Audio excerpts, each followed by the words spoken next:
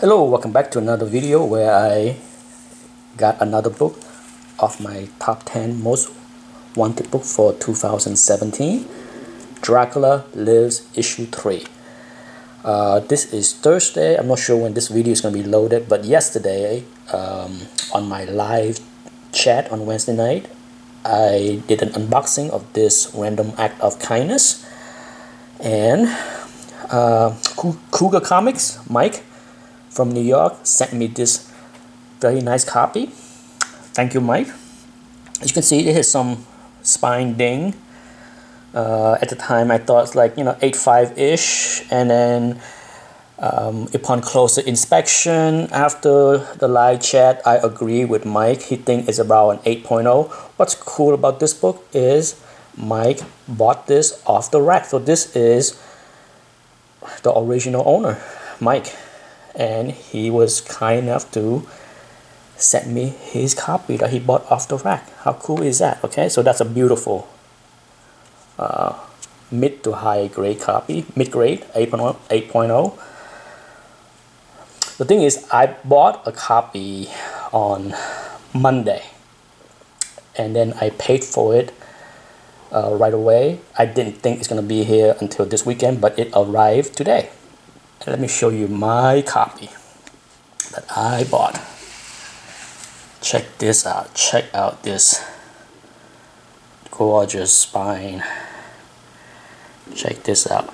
Yeah my book though probably the worst flaw on the corner is this little ding right here but other than that not bad right? But look at this one. Oh my goodness. Beautiful. And I paid roughly I think 16 for this book. Gorgeous and look at the white interior. Okay gorgeous. And for those that want to see the interior stick around. Okay here's my copy.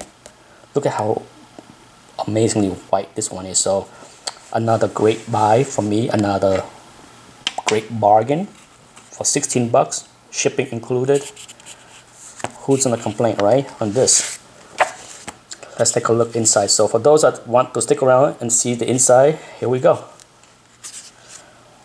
this book has an awesome piece of work right here by Wolfman, Buscema, and Syd Shore. Just look at the quality of inking by Syd Shore on this one. Syd Shore can really, really ink, okay? I am a big fan of Syd Shore's inking on many people. The only penciler that I think Syd Shore had a lot of problem with is Gene Colan. And for those that uh, collect Daredevil Silver Age, you will see uh, Syd Shore work on Gene Colan just look at how tight the inking is here. Look at this. Beautiful.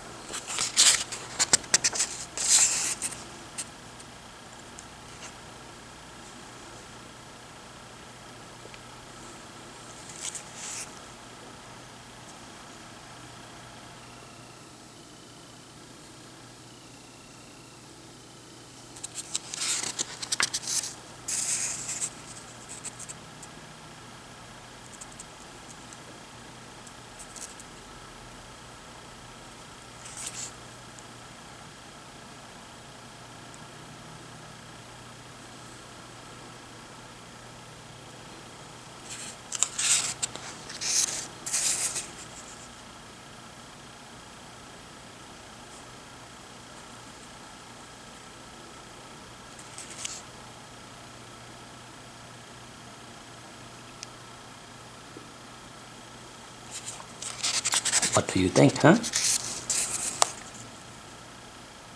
Pretty cool, right?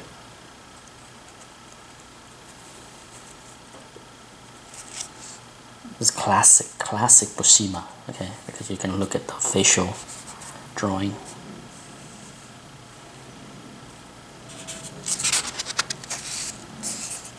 And that's the end. I don't believe I have ever shown the interior of this book before so you know, let me flip it through the quick. And then you have some uh, I believe this is a reprint of a golden age horror. Check out the ads the in-house ad for the zombies. Great stuff. You know for those that collect magazine it's a lot of fun to read through these articles and interviews. Don't skip them. Fun read. And then you have this piece of uh, story from Roy Thomas and Alan Weiss. There's another story that I have that Alan Weiss worked with Neal Adams that I need to show one of these days in another uh, magazine that I thought looked pretty cool. But just look at the quality of this. This is great stuff.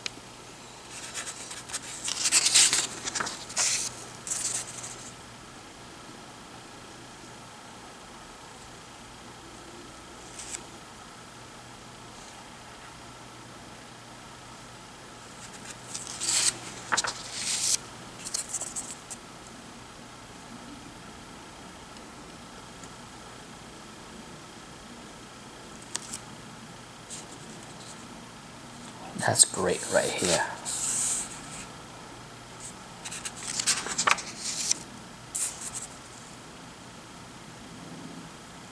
I'm not very familiar with Alan Weiss at all. Um, but one thing for sure is like you know when he draw characters, he's from the few uh, magazine I have that uh, showcase his work. He tend to draw very lean, tall characters. Okay. Uh, I'm sure when I get around to show the other magazine that he did the work, you will see the similarity in that he draw very tall, lean characters.